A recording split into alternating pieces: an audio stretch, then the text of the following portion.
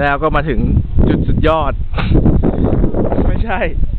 ถึงจุดสูงสุดของ Griffith เอ่อไอหอดู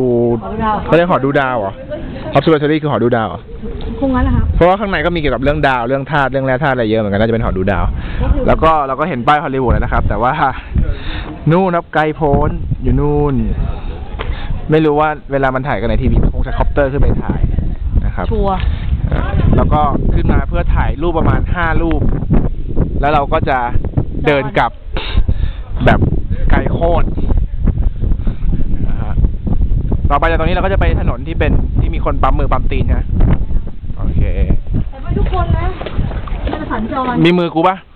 เดี๋ยวกูไปปั๊มได้ปะได้ โอเค จัดไปอย่าให้เสีย